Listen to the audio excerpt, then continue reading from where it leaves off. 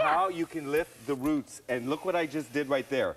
Look what happened there. Right. Away from oh her face. gosh, This look. is how Aiko's hair is normally. This is really, really thin. Oh, and I, I just a look have at to this. ask people to use automated ordering, Nick. I'm sorry to interrupt Okay. you. 1 800 345